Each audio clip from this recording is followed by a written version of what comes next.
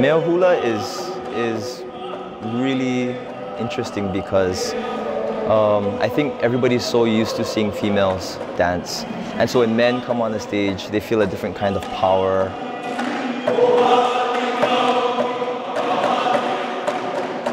They feel um, a raw strength, whereas the, fem the feminine hula is so graceful. What's interesting this year is that we're trying to combine the raw power with the grace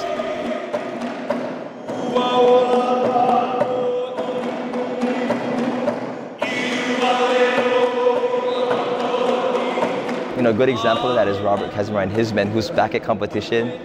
They, they, you know, they've always been heroes of mine, Robert, and of course, Kawaili'ula and Sonny Ching folks, just extraordinary male halaus out there. And um, Ke Kai O Kahiki with their new kumu, um, La'akea Perry, just um, a great competition for the men.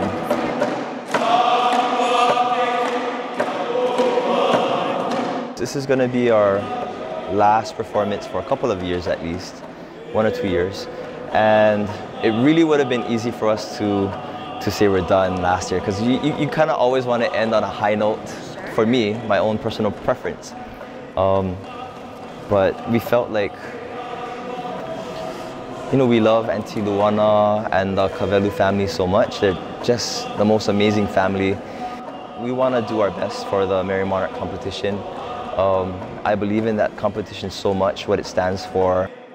We knew that as the overall winners, that it would be important for us to return at least one more time so that we would be there for the finale of the, of the performance on the Kahiko and the Auana nights.